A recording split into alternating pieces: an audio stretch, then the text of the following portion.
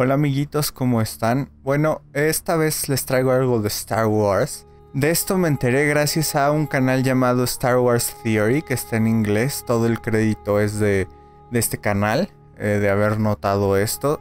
Sin embargo, quería ponerlo en la mesa en español.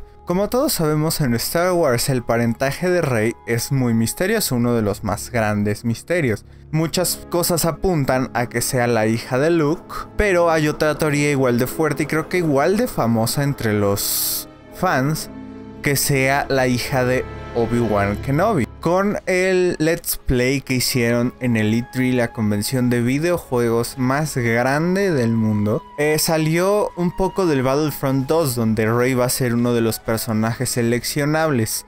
Y quería notar que en uno vemos a Rey con sus ropas de The Force Awakens, eh, donde está con un lightsaber que dice era el lightsaber de Anakin, luego de Luke y ahora dice el lightsaber de Rey aquí abajo, como pueden ver. Y nada, es con el lightsaber que nos habíamos quedado. Pero cuando está con este vestuario podemos ver que es un lightsaber diferente. Dice igual que es el lightsaber de Rey. Sin embargo, si lo comparamos con otros lightsabers antiguos, podemos ver que este lightsaber se parece mucho al de Obi-Wan Kenobi. Creo que esto apoya un poco a la teoría sobre que ella es hija de Obi-Wan Kenobi, tal vez en la película de The Last Jedi, Los Últimos Jedi, o más adelante nos enteremos de quiénes son sus padres y resulte que es Obi-Wan. ¿Cómo ven ustedes? ¿Creen que es factible? ¿Creen que sea simplemente un error, un glitch?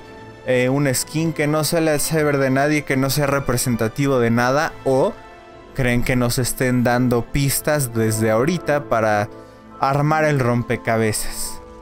Con un productor como JJ Abrahams que le encantan esas cosas no me sorprendería. Pero me gustaría saber su opinión. Eh, no olviden seguirme en Twitter y Facebook porque pronto voy a hacer una rifa.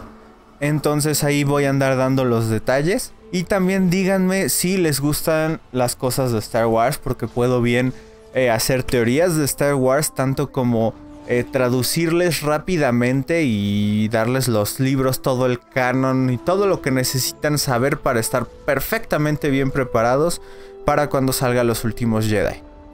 No olviden suscribirse, darme un generoso like y nos vemos en el próximo Conspiraciones Geek aquí en My Coffee Time. Que la fuerza los acompañe.